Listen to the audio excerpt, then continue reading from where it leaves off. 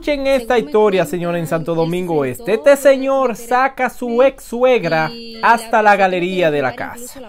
Ahí le propina 25 estocadas. Dice que la sacó hasta la galería para que el vecindario viera cómo él le propinaba esa apuñada, ya ustedes saben. También le propinó 10 a su ex, ex hijastro. Mira, los problemas eran y le dio un botellazo él y su ex a su hijo. Esto es increíble, señores. Un día antes del Viernes Santo. Vamos a escuchar la historia. Ruédeme el video. Según me cuentan, él se sentó luego de cometer el crimen y la policía tuvo que derribar incluso la puerta. La puerta, sí. Incluso eh, la señora estaba viva todavía y le estaban diciendo a la gente que, que por favor que la dejen salir para Increíble. y él dijo que no. Increíble. terminó de, terminar de darle más Wow, wow. Mira, los problemas eran frecuentes entre él y su ex pareja. Sí, porque ellos tenían una orden de alejamiento. Pero que como tenían muchachos, la mamá, porque le tenía un terror psicológico. Él le tenía ya un terror psicológico a ella demasiado fuerte. ¿Y cuántos hijos tenían ellos? Tres. Él sacó los tres para afuera. Tres. Incluso escuché que al más grande de él, él le dio un botellazo porque ese fue el único que pudo salir y terminar de bocearle a la gente para que lo socorrieran. Pero ya él estaba, tenía todo cerrado y terminó de... ¿Y cuál cree usted que fue la causa o la razón por la cual él cometió este Mire, vamos a seguirlo escuchando ahora. Mucha gente seguro se preguntarán, pero ven acá, los vecinos estaban ahí, porque hay videos donde se ven los vecinos diciéndole, por favor, no lo haga, abre la puerta para nosotros entrar, para socorrerla.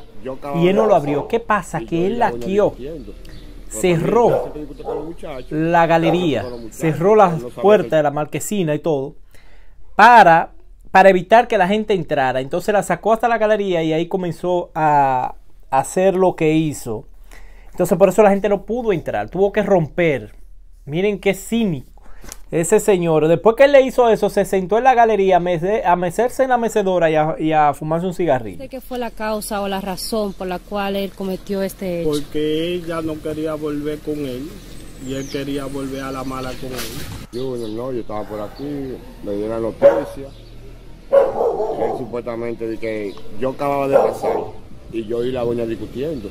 Pues para mí, voy a siempre discutir con los muchachos, yo con los muchachos, pues no sabía que él estaba ahí adentro. Y a la media hora yo subí para allá arriba, me dan la noticia y me están diciendo que él la está sacando para afuera, para que vean cómo estaba a la luz. Y al niño le dio en el cuello. Entonces ya él tenía mucho tiempo en eso, diciendo que le iba a hacer. Eh, la doña la ponía en contra con la mujer.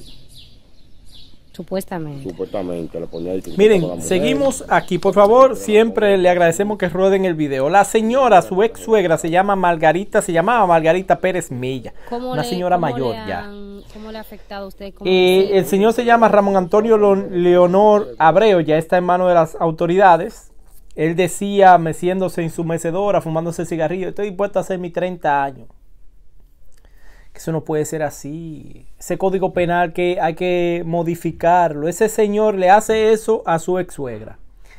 Eh, a su ex, a su, hijastro, le propina 25, 25 no, 10 puñas, ya ustedes saben. El muchacho está ahí entre la vida y la, y la ya ustedes saben.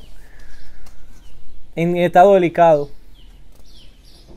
Desde el 2020 tenía una orden de alejamiento de su expareja, Raquelita Guerra, quien era, fue ex participante del show Master Chef.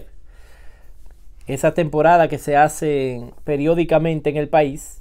Ella parece, es una famosa chef del país, Raquelita Guerra y ya había, lo había denunciado en su programa.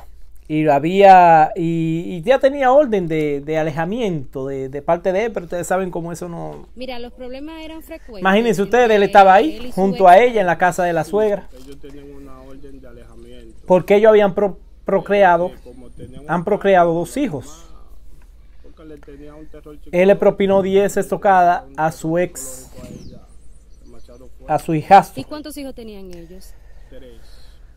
Ay, Dios mío, esto es un día antes del viernes, ¿eh? Esto pasó ayer ahí en la urbanización Fernández, eh, Fernando, Fernández Oriental, en Santo Domingo Oeste. Se atrincheró en la casa donde se encontraba su suegra y ahí ya ustedes ¿Y saben lo que pasó. usted que fue la causa o la Ella razón tenía tiempo este y la y Raquelita Guerra, su expareja, lo había denunciado, había dicho, tengo muchas muchos voicemail, o sea, muchos audios de que él me manda diciendo, te le voy a hacer eso a tu mamá y le, te voy a hacer eso a ti. O sea, por no yo no ser explícito aquí, decirlo como, como, como son las cosas. O sea, te voy a asesinar a, ti y voy a me a tu mamá, a tu madre. Y lo hizo. Pero es que muchas veces la, la, la- el sistema protege a esa gente. Lo protege porque si ella va con una llamada, una videollamada, un audio que se puede verificar que es su voz y que vino de un teléfono de su propiedad diciendo te voy a hacer eso a ti y le voy a hacer eso a todos. Y las autoridades no hacen nada, o sea, le están dando libertad a esa persona para que haga ¿Cómo eso. le, cómo le han cómo Le están dando toda la libertad para que haga eso. Para que vaya y termine su trabajo, como ha pasado en muchísimos casos. Y no por la doña y el niño. que lo someten por tal o cual cosa, duran dos o tres meses, un año en prisión, después vienen, compran fiscales, compran jueces, compran a medio mundo, salen y salen directo a hacerle eso a su expareja. Se han visto casos que ha sido la familia completa que se han llevado. ¡Rum! Simple y sencillamente razón. Porque ella no quería regresar con él porque ella no quería regresar con él. José La Luz tiene una buena propuesta ahí. José La Luz tiene una buena propuesta de cómo deben de, de- de- de tratar ese tema de violencia de género.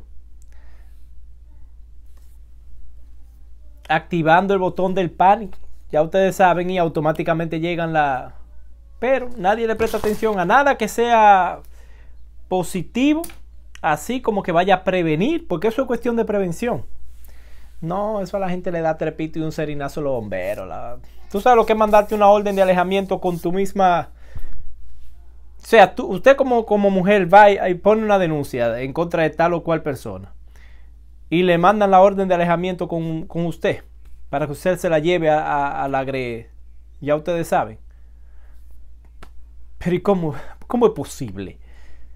Y además que no se respeta nada de eso tienen una orden de alejamiento y andan y en cualquier momento van.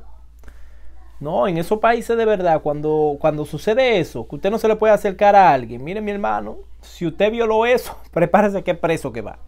Eso es muy peligroso. Señores, muchísimas gracias siempre. Feliz Viernes Santo. Eh, tranquilito en su casa. Eh, quédese ahí tranquilo, comiéndose su arroz, guandule, bacalao, su habichuela con dulce. Es mejor en su casa que estar con ese loco viejismo ahí fuera, porque afuera la cosa no está fácil. Bendiciones.